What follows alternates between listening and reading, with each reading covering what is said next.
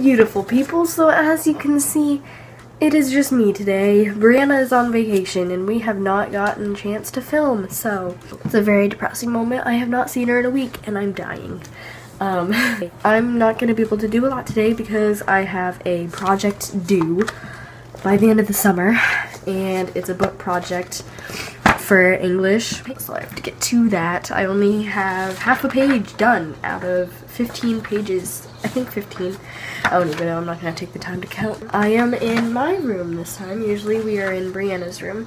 It's just Aislyn today. I hope you guys are okay with that. I know Breanna's amazing and she's great and Sadly, we cannot be together. One thing I have to show you is this fox I got at Central Park when I went to New York. Um, the day I got back from New York is the day she left, so we have not been able to film.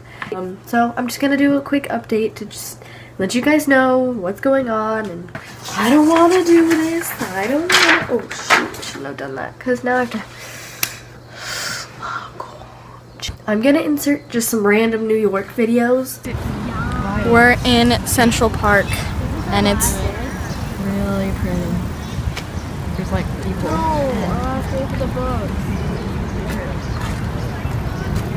they're mean.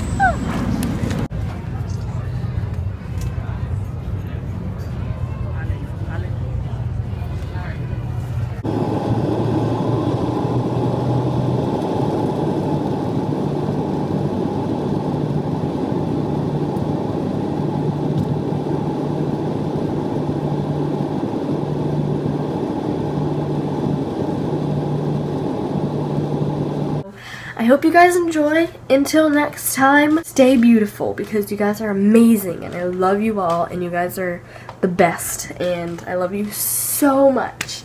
And I'll see you guys next week. Love you. Bye. Hey guys, quick note. Um, I don't have a computer to edit, so I'm editing this on my phone. So there won't be a subscribe button or any of that funky editing jazz that we usually do.